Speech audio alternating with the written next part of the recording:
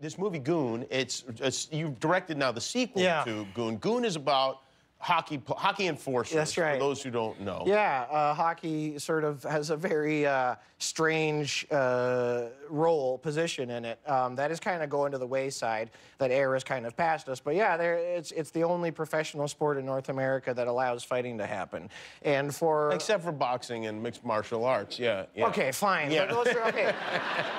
fair, fair. It's the only non-combat sport Okay, uh, yeah, in yeah. North America that allows fighting. And there used to be, for a time, for a bulk of my life, there was uh, at least one roster spot on each hockey team left for a guy that was really just good with his fists, and we thought that was pretty fertile ground for a movie. Sure, yeah. And uh, and yeah, so it's we've. And this is like super popular amongst hockey players. It and- seems to be. You know, I, I don't know all 700 and, uh, plus NHLers, but the few that I've had contact with, uh, They all know it. They all seem to uh, know it, dig it, reference it. You know, Carey Price quoted it in a locker room interview once. I see the boys wearing our Highlanders hats and stuff. And Nice. Yeah, there's a tremendous amount of goodwill towards. Who's the Like- number one goon of all time?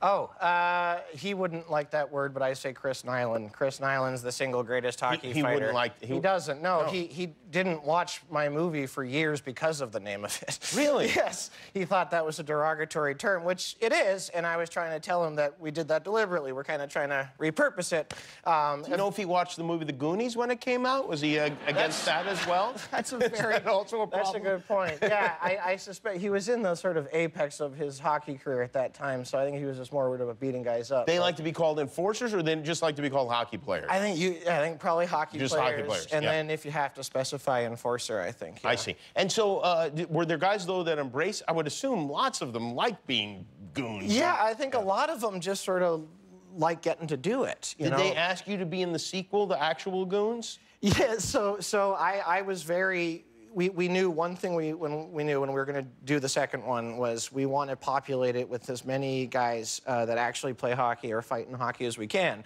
and so we started recruiting guys like uh, Brandon Prust and uh, George Parros and Colton Orr, and then we got an email. Uh, from a guy calling himself uh, Mel the Mangler Angelstad, who, um, so- who very, who, who, who just emailed us and was like, "I think Goon is based on my life," and I was like, "I know for a fact it isn't." Um, and then he said, "And I should be in the sequel." And uh, my fight with Darcy Hordichuk is still regarded as the best hockey fight of all time. And I'm like, well, "Who the heck is this guy? Who is he thinking?" And then I go and watch the fight, and I'm like. He's right. It's, uh, and he's literally just like I think he works. He's a fireman, EMS guy, and I think Fort McMurray, Alberta. And uh, yeah, great, yes. um, and uh, and so yeah, we just brought him out, and he's in our movie. He took a week off of How was his acting? lives. Did he did he do a good job? He did an awesome job. He did, yeah. He did an aw- and even if he didn't, you're not going to tell the mangler he didn't do a good job, right? I mean, Absolutely not. Absolutely not. no, not no, no. I want the I want every man that can kill me to save as much face as possible.